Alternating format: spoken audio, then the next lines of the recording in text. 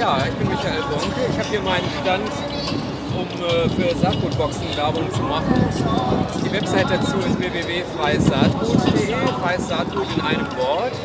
Und die Idee ist eben, eine Infrastruktur zu schaffen, die solche Konzerne wie den, gegen den hier gerade demonstriert wird, überflüssig zu machen.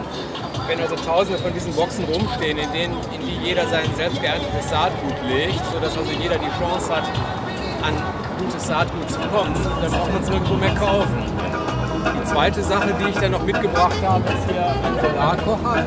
Der Solarkocher ist eben ein ideales äh, Bewusstseinsbildungsinstrument, weil er die beiden großen Themenfelder Energie und Ernährung zusammenführt. Ne? Die Sonne, die sorgt dafür, dass der Topf heiß wird und das gute Saatgut, was hier überall zu kriegen ist und die äh, Pflanzen hier, die sorgen eben letztlich dafür, dass was in den Topf reinkommt.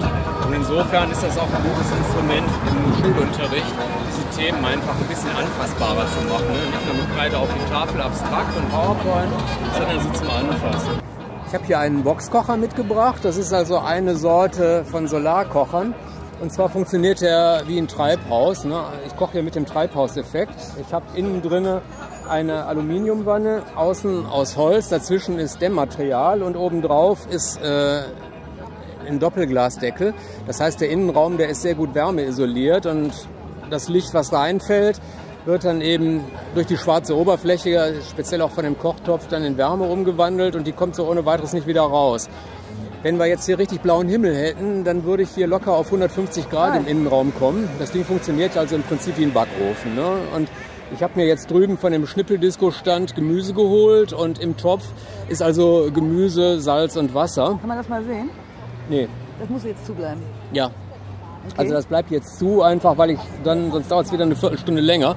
Ne? Also man, die Eigenart dieses Kochertyps ist eben, dass man alles vorher reintut und hinterher, wenn es fertig ist, das dann wieder, das dann erst rausnimmt. Also so Rezepte, bei denen man so peu à peu irgendwelche Zutaten rein äh, hinzugibt, Dafür nimmt man Parabolspiegelkocher. Ne? Also hier geht es darum, alles am Anfang rein und am Ende gar rausnehmen und Ende. Ich habe das als Bausatz gekauft, dann liegt so bei ungefähr 200 Euro. Wenn man den fertig kauft, ungefähr das Doppelte. So um die 400 Euro. Dafür hält er für die Ewigkeit. Ähm, ich mache mit Schulklassen Baukurse, da liegen die Materialkosten so bei 2, 3 Euro ungefähr. Das sind dann einfache Kocher aus Pappkarton, aus Wellpappe.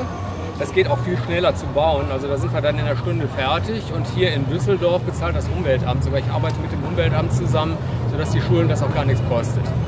Ne? Also da kann man mich auch ansprechen, komme ich gerne in die Schulen. Okay, super.